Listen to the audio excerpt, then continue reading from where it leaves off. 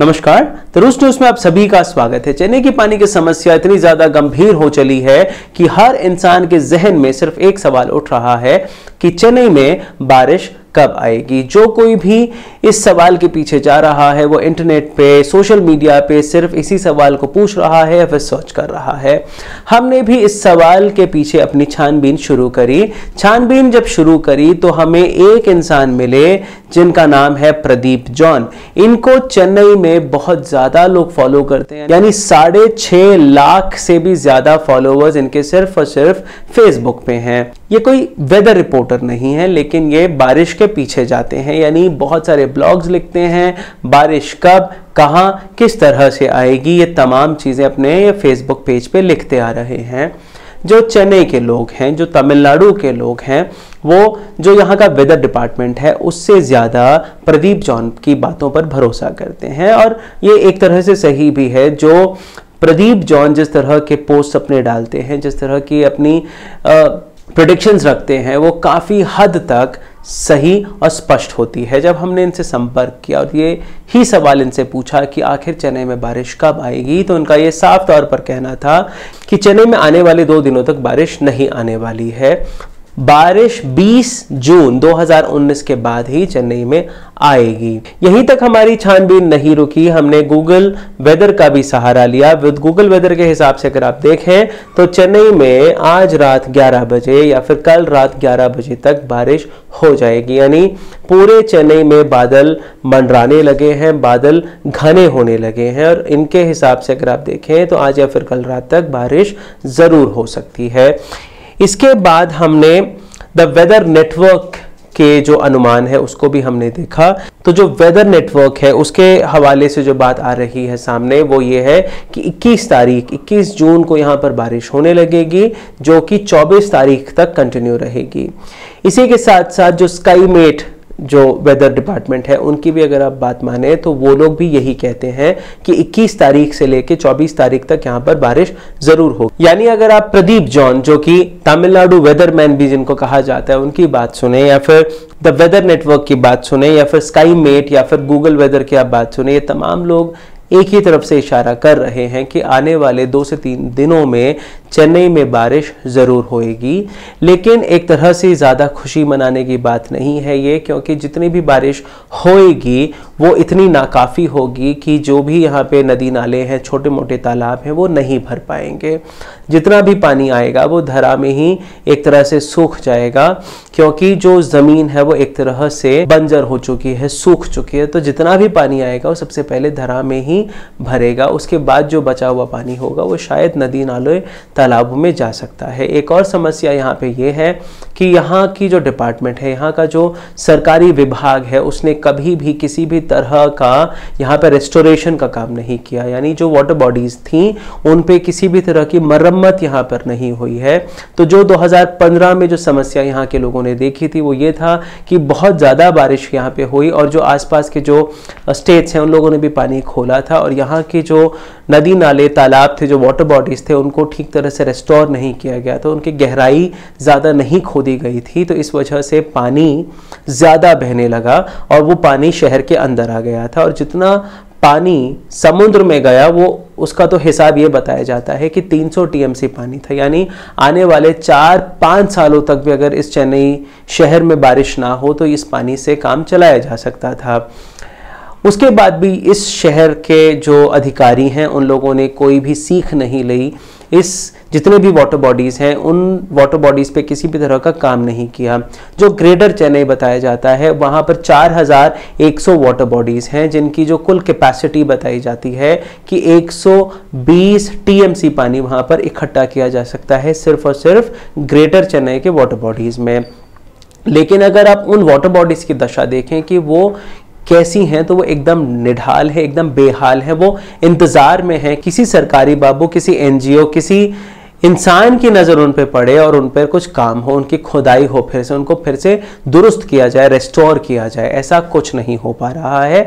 तमाम 4100 जो water bodies हैं, वो बहुत बुरी हालत में है और जो चेन्नई में एग्जिस्टिंग वाटर बॉडीज थी, उनमें कई जगहों पे घर, मकान बन गए हैं बिल्डिंग्स बन गई हैं बड़े बड़े ऑफ़िस बन गए हैं आईटी के दफ्तर बन गए हैं, जो सारे के सारे वाटर बैंक्स में हैं। 4100 वाटर बॉडीज में कम से कम नहीं तो 120 टीएमसी पानी इकट्ठा किया जा सकता है। इस शहर की जो खपत है साल भर में वो सिर्फ़ 40 टीएमसी पानी है। यानी अगर आने वाले तीन सालों तक भी बारिश नहीं होती है तो ये शहर इतना पानी इकट्ठा कर सकता है कि आने वाले तीन सालों तक यहाँ का काम चल सके। अगर आप यहाँ के बारिश की, को दर्ज करें तो 1200 से लेके 1300 मिलीमीटर पानी यहाँ पे दर्ज किया जाता है हर साल। यानी इतना यहाँ पर बारिश होता है। पिछले 200 दिनों में यहाँ पर बिल्कुल बारिश नहीं हुई। अगर यहाँ के जो विभाग है, यहाँ का जो सरकारी बाबू है, वो थोड़ा सा ध्यान देता थोड़ा सा सतर्क रहता। तो पिछले साल जो बारिश हुई या फिर उससे पहले जो बारिश हुई, वो कहीं ना कहीं स्टोर किया जा सकता था। और आज जो 200 दिनों में इस शहर की हालत इतनी बुरी हो चुकी है, ये नहीं होती। यानी अगर अगले साल भी बारिश ना आए, तब भी ये शहर इतना केपेबल है, खुद से सक्षम है कि ये बिना बारिश के भी अपने शहर के लोगों को भरपूर पानी दे सकता था।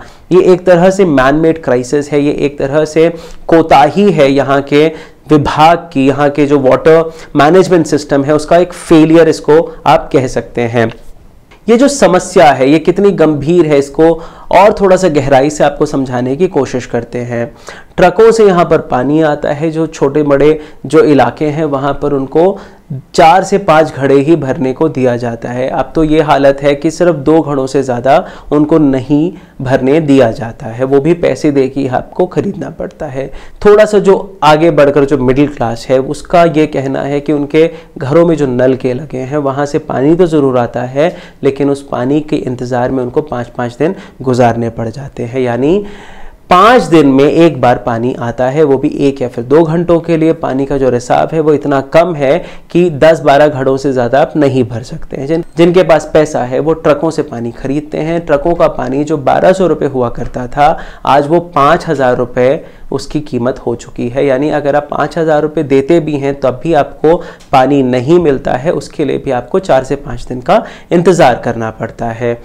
जो यहाँ की आईटी कंपनीज़ हैं, उन्होंने अपने स्टाफ को रिक्वेस्ट करी है कि जो भी आप लोग हैं, आप दफ्तर ना आए, आप अपने घरों में ही बैठकर काम कर सकें। यानी वर्क फ्रॉम होम का ऑप्शन उनको दे दिया गया है। उनका ये कहना है कि इतना सारा स्टाफ जब ऑफ़िस आता है तो पानी का क्राइसिस ज़्यादा बढ़ता है और हमें पानी नहीं मिल पा रहा है।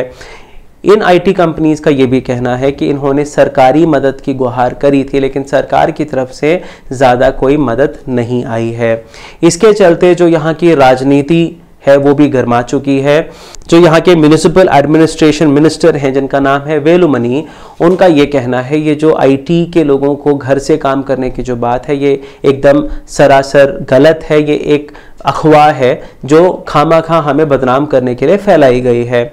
हम लोग आईटी कंपनीज़ के साथ जुड़े हुए हैं, उनके साथ संपर्क में हैं और जितना भी उनको पानी चाहिए, हम उनको मुहैया कराते आ रहे हैं। सो ये एक हमें बदनाम करने का एक प्लान है। उसका जो ऑपोजिशन है, यानी जो डीएमके के जो चीफ हैं एम के स्टालिन यानी करुणानिधि जी के बेटे, उनका ये कहना है मेलुमनी जी को इस्तीफा दे देना चाहिए, वो इस पूरे जो प्रॉब्लम है, इसको वो मैनेज नहीं कर पा रहे हैं। यानी ये सोच के देखिए, जो दोनों ही पार्टियाँ हैं, इस क्राइसिस में भी एक दूसरे के ऊपर इल्ज़ाम लगाने में लगी हुई हैं। ये दोनों ही ऐसी पार्टीज़ हैं, जिन्होंने पाँच पाँच, दस दस साल के अंतराल में इस शहर को रूल किया। लेकिन इन दोनों ही पार्टीज़ ने कभी ऐसा काम नहीं किया कि यहाँ पर डैम बनाए जा सके, या फिर जो यहाँ पर वाटर बॉडीज हैं उनको साफ़ किया जा सके, उनको रेस्टोर किया जा सके। स्कूल्स की अगर आप बात करें स्कूल्स ने अपने बच्चों को, छात्रों को ये कहा है कि अपने घर से दो दो बोतलें लेके आए, यानी अगर आपको दोबारा से रिफिल करना पड़े तो उस पर भी इनको समस्या हो रही है स्कूल्स पे भी पानी नहीं है। जो यहाँ का रेस्टोरेंट एसोसिएशन है, उसने ये निर्णय लिया है कि दोपहर का जो खाना है लंच है, उसको हम बंद कर देंगे, सुबह नाश्ता और डिनर के लिए ही रेस्टोरेंट्स खुलेंगे। कुछ एक रेस्टोरेंट्स अभी भी खुले हैं, लेकिन एसोसिएशन ने यही फैसला लिया है कि आने वाले एक आध दिन में अगर कुछ नहीं होता है तो ये तमाम रेस्टोरेंट्स दोपहर को बंद हो जाएँगे। उसके साथ साथ जो यहाँ का मेट्रो विभाग है, मेट्रो विभाग ने कुछ 15-20 दिन पहले ही जितने भी एयर प्लांट थे, जिस को चलाने के लिए पानी की ज़रूरत होती थी, वो भी बंद कर दिया है। यानी मेट्रो स्टेशन में अभी एयर कंडीशन नहीं चलता है। दूसरी तरफ़ जो तमिलनाडु की सरकार है, उसने ये ऐलान किया है 2400 mld पानी ज़्यादा छोड़ा जाएगा। जब आपके पास पानी ही नहीं है तो 2400 mld एक साथ छोड़कर ठीक है, आप क्या समझाना चाहते हैं, क्या दिखाना चाहते हैं और कहाँ से वो पानी आएगा? यानी जो पानी है, उसको आपने पहले मैनेज नहीं किया, जो पानी आपके पास अवेलेबल था, उसको आपने व्यर्थ किया। आज जब आपके पास पानी नहीं है, तब आप ऐसे फ़ायदे कर रहे हैं जो संभव ही नहीं है। जितना भी चने में पानी स्टोर किया जा सकता था या फिर था पानी, उसका एक प्रतिशत भी आज पानी नहीं है। ये ग्राउंड रियलिटी है। जितने भी स्रोत हैं पानी के, वो सब सूख चुके हैं।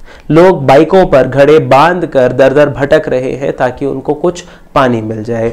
हमारे जो लालची बिल्डर हैं, हमारे जो लालची अधिकारी हैं या फिर कुछ राजनेता हैं, जो इन तमाम गतिविधियों में हमेशा से लिप्त रहे, जिन्होंने नदियों के रास्तों को बंद कर दिया बड़ी बड़ी बिल्डिंगें बनाने में लोगों की मदद करी, एक तरह से खुद की जेबें गर्म करी और जो इकोसिस्टम है हिंदुस्तान का, जो इकोसिस्टम एक शहर का, उसके साथ खेला। जिसका रिज़ल्ट है, वो आज चेन्नई बहुत बड़ा एक एग्ज़ाम्पल है। इसको इसको एक स्टडी मटेरियल बनाना चाहिए, इसके साथ देखना चाहिए कि एक ऐसा शहर जहाँ पे इतनी बारिश होती है, पड़ोस में समुद्र है, हर तरह की यहाँ पे रिसोर्स अवेलेबल है, तब भी इस शहर में सूखा आखिर पड़ा तो क्यों पड़ा जो सरकार है, उस सरकार को भी ये सोचना चाहिए कि हम एक शॉर्ट टर्म प्लान ना लेके आए, बल्कि एक लॉन्ग टर्म प्लान लेके आए ताकि लोगों को इस समस्या से फिर से दोबारा जूझना ना पड़े। बारिश जो नहीं हुई है, वो एक तरफ़ है, लेकिन उसके अलावा भी कई सारे ऐसे मेथड्स हैं जो अपनाए जा सकते थे पानी को स्टोर करने के लिए। यानी 200 दिन इतना बड़ा समय नहीं होता है कि आपके शहर में सूखा पड़ जाए अकाल आ जाए। आशा करते हैं कि जो चेन्नई के लोगों की समस्या है, वो जल्द से जल्द दूर हो। जिस तरह से ये तमाम रिपोर्ट्स हमें बता रही हैं, आने वाले एक या फिर दो दिन में यहाँ पर बारिश ज़रूर होगी और वो इतनी बारिश हो कि जितने भी यहाँ की समस्याएँ हैं, वो जल्द से जल्द इन लोगों की दूर हो जाए। बने रहें हमारे साथ दरुस्त न्यूज़, जो आपको तमाम खबरें दिखाता है, जो सीधे आपकी जड़ों से जुड़ी हुई होती हैं। सब्सक्राइब ज़रूर करें, ताकि आपको तमाम खबरें मिलती रहें, जो हम सिर्फ़ और सिर्फ़ आपके लिए बनाते हैं। धन्यवाद।